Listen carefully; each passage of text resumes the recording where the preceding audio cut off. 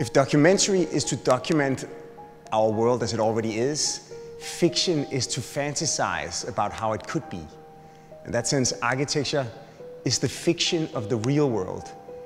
sort of turning dreams into concrete reality with bricks and mortar. Architecture is the canvas for the stories of our lives.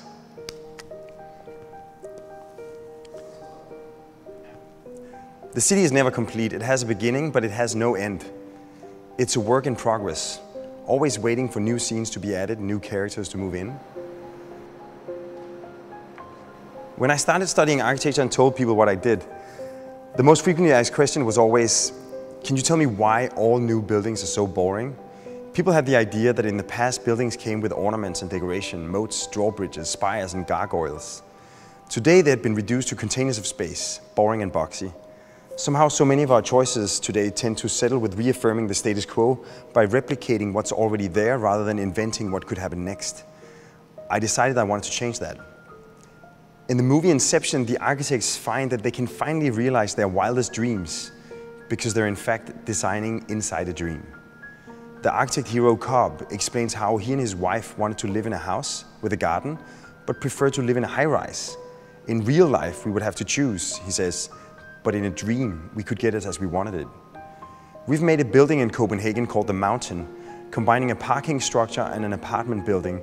By turning the parking into a man-made mountain of cars, we can turn the stack of homes into a cascade of houses with gardens, penthouse views and big lawns, Cobb's dream home made in real life.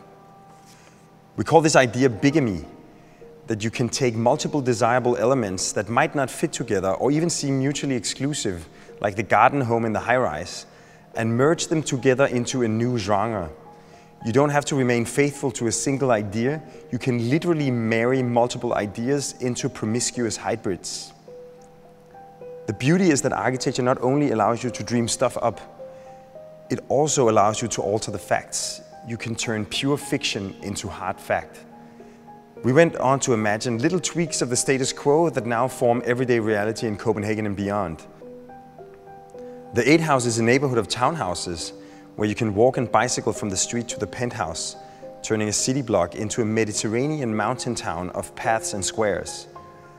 The harbor bath brings the beach into the heart of the city, realizing the Parisian slogan of May 68, Sous le pavé la plage.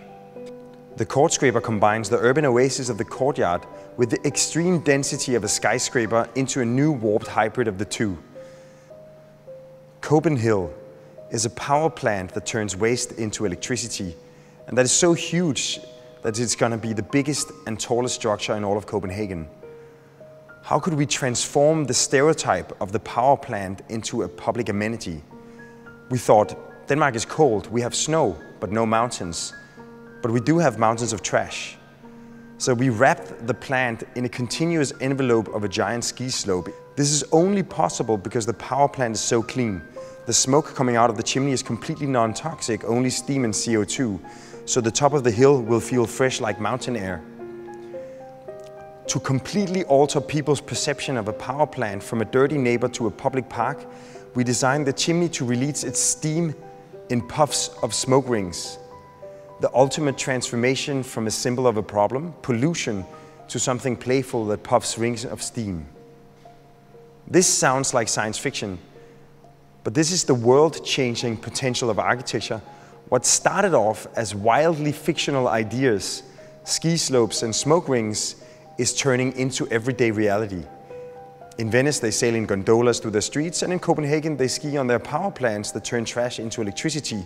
A weird dream has crystallized into concrete reality. Today, people flock towards immersive worlds in the virtual realm. More than 100 million people populate Minecraft, where they can build their own worlds and inhabit them through play. The real-world predecessor for Minecraft, LEGO has become the greatest toy company in the world, with a population of minifigs of 3.7 billion, the largest ethnic group on the planet. These fictional worlds empower people with the tools to transform their own environments. This is what architecture ought to be. If geography is the documentation of the world as it is, architecture must become worldcraft, the craft of making our world, where our knowledge and technology doesn't limit us, but rather enables us to turn surreal dreams into inhabitable space, to turn fiction into fact.